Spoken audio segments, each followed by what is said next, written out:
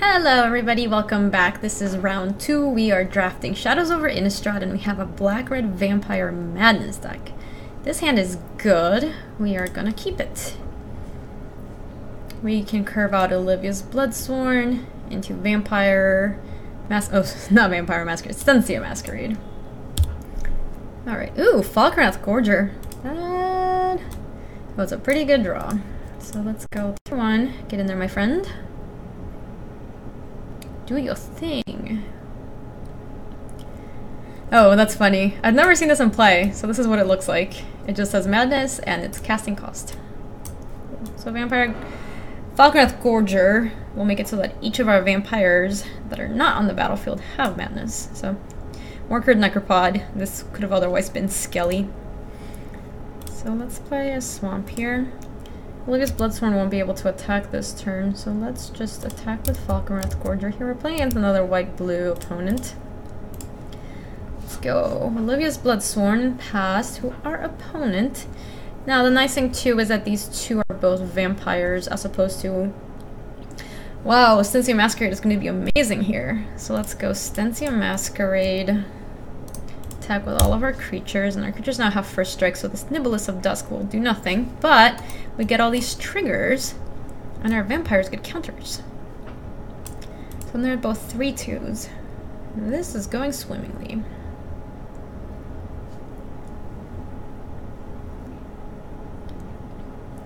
And this is one of those situations where I was talking about earlier where Stensia Masquerade is when you get off to a quick start and you have a lot of creatures out in play, you just run away with a game like this, but sometimes if you're behind you just draw Stensia Masquerade and you're like, oh god, why?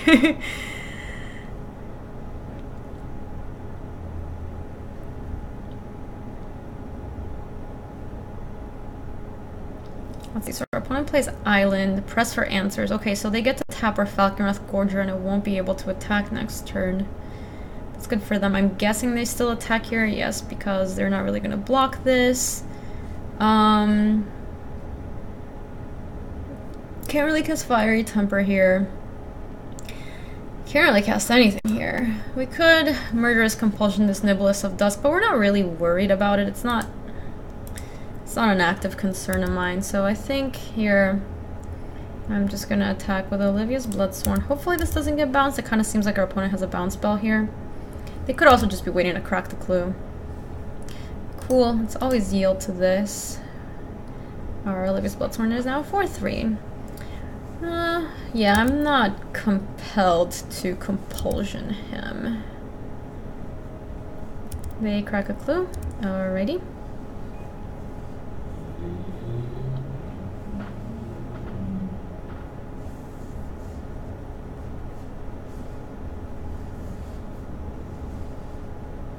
We draw land next turn, we'll be able to play that Twins of Maurer Estate, which is to be a 3-5 with, uh, oh man, the Nearheath Chaplain. Interesting.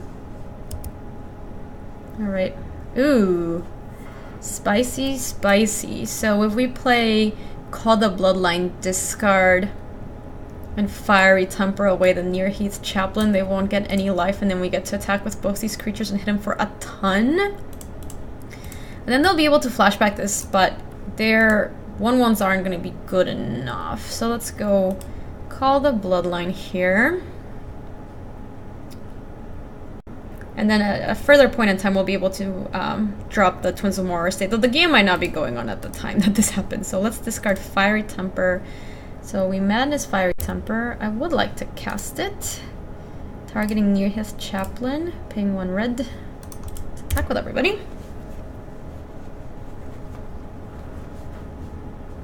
So yeah, this will exile for three and mate two, two spirits, which at this point are just going to be chumpers. The Niblis chumped this turn, it seems. That's okay. Yeah, and our opponent conceded. It was going to be very difficult for them to come back from that one. So let's go to sideboarding. We saw Niblis of Dusk, Press for Answers, and Nearheath Chaplain. Uh, it looks like Dual Shot is probably pretty good against this opponent. We saw at least two very good targets, and um, Niblis and oh, Nearheath Chaplain also makes uh, one ones, so being able to kill those would be nice. Mm, reducing to ashes Nearheath Chaplain is nice because then they don't get to flashback it, but nah, it's not good enough that I want to bring it in. Let's see, do I want any of these? Chasm doesn't seem very good. Mm, none of these. I don't think I want any of these. I don't think I want the village messenger. So now let's just make a cut for that dual shot that we're bringing in. Maybe we'll take out eight twins of Maurer Estate. Same thing I boarded out last time. Yeah, I mean, just having that many twins doesn't, it's not great. But I'm okay keeping this Morkrut Necropod. So let's send it in.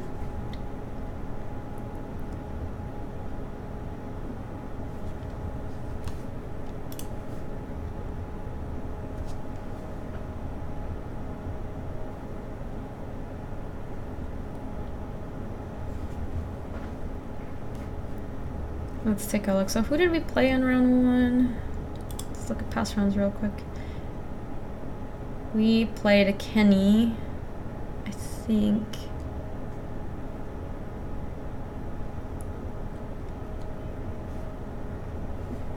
Hmm, this hand is a little worse.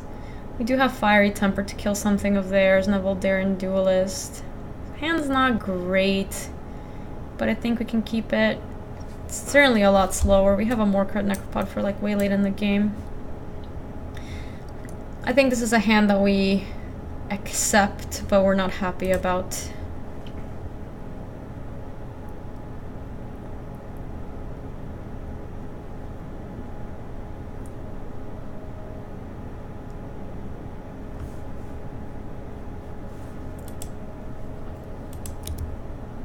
Okay. Oh, Breakneck Rider is a great draw for us. So let's play a mountain and pass.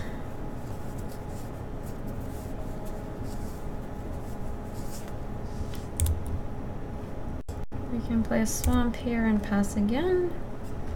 Next turn we will be breaking some necks. Or maybe not, because that's pretty savage.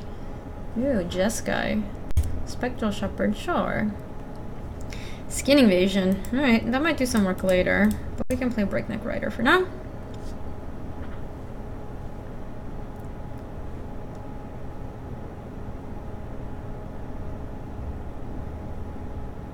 I play a Stone Quarry. I'm guessing they're just gonna attack here. Sure thing.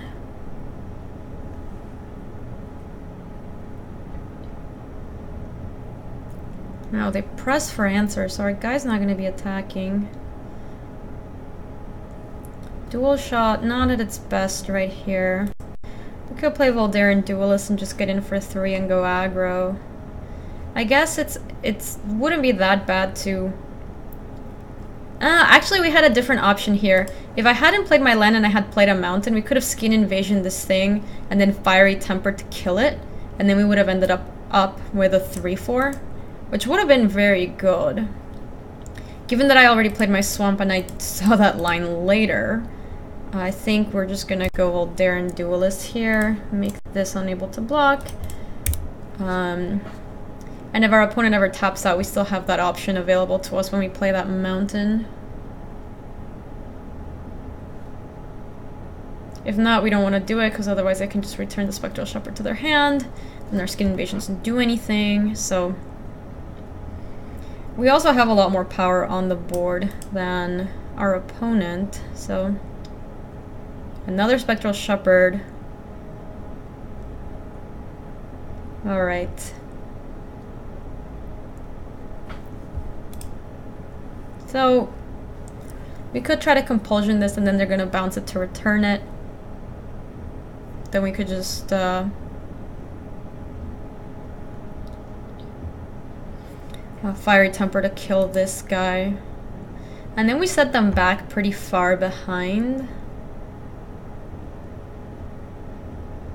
I think that's probably fine. I really don't like using a removal spell when they can just bounce it, so... And also I like that our Breakneck Rider is going to flip here if our opponent doesn't do anything. So maybe I'll just attack with both my creatures and not actually do anything. I might try to fiery temper one of those critters later. 2-2 flyer is not really something I'm super worried about.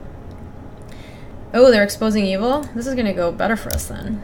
So, they killed our creature, but now we can skin invasion the shepherd and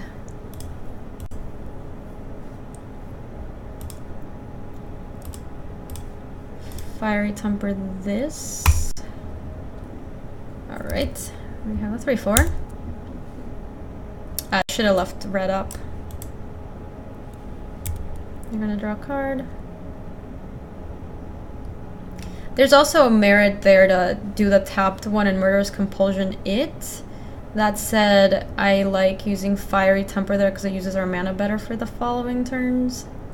Like it'll give us more mana to work with, so let's always yield here. Alright, so we're getting close to that Necropod. Actually, we just drew the land for the Necropod. So let's attack with everybody. Hmm, now they, our guys get trampled too. Are they gonna just block and bounce? That's not gonna do anything because they have trample. Yeah, that's not gonna... That doesn't work the way our opponent wants it to work. Let's play Morkrut Necropod, and they go.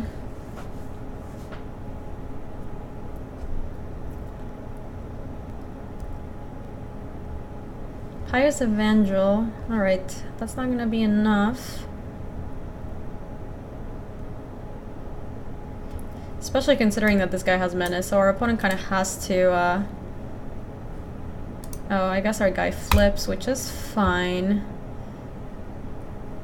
Um, but if we just dual... Wait, it's just one red mana. if we dual shot this and this, and then just attack with everybody, our opponent cannot win here. They're taking way too much damage.